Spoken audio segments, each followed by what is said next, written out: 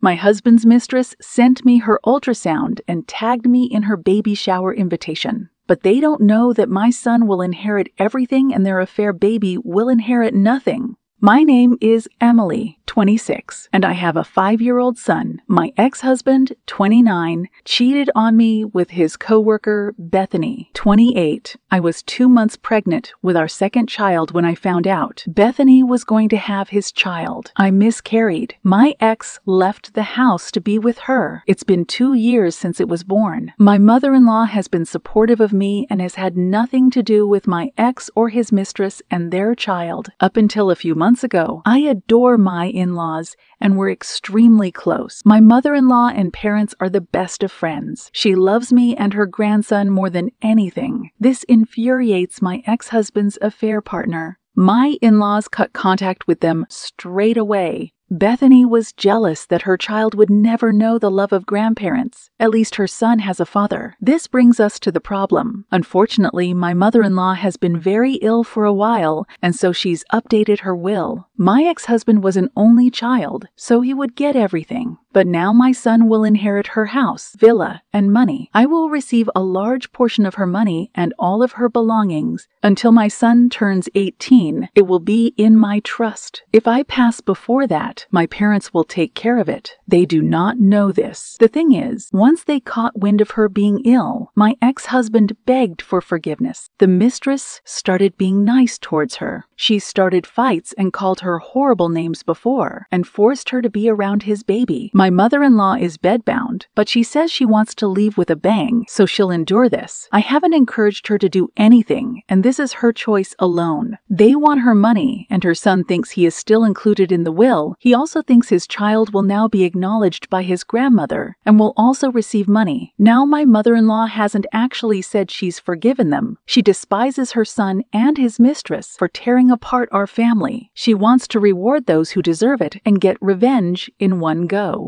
The mistress keeps on hinting on how her child will grow up and attend a great college, etc. Money involved things whenever she's around my mother in law. Actually, mother in law's niece, my cousin by marriage, has overheard her on the phone discussing what wallpaper she wants in the dining room when she moves in and how my mother in law has no taste whatsoever. She also mentioned how she'll finally be able to take down pictures of my son when my ex owns the house. Too bad for her. It will belong to my son. No changes will be made until my son becomes 18. It's his grandmother's home, and he should be allowed to cherish it in the way she's decorated it. I'm not really allowed to tell anyone. And though this revenge will be satisfying, I'll have to lose my mother in law. It's kind of a win lose situation, and I dread the day when she'll take her last breath. She means a lot to me. I love her. She wants this for her grandson and has said that she cannot rest until she knows her son and his mistress have been punished. She wants this because her childhood was also ruined because of her father and his affair partner. She wants my son to know he was loved and will always be loved. I hope my son will always value the great women in his life. I wish he had more time with his grandmother. Edit. As for those who are angry at me for not asking my mother in law to include my ex's new child, I can't do anything about that. Yes, I'm happy, and that's selfish, but I'm going to put myself and my son first. That child contributed to my miscarriage and is one of the reasons why my son has not had a father for over two years. I can't change my mother in law's mind about him. I do pity the baby, but it's not up to me to fend for it. It's not my responsibility. I've tried talking to my mother in law, but she's had her whole childhood ruined because her father made his affair children his top priority. This is why she wants nothing to do with it or her son. He knows that she went through so much because of cheaters. Yet he decided to do the same to her. He has seen his grandfather favor his aunt and uncle over his mother. If this happened to you,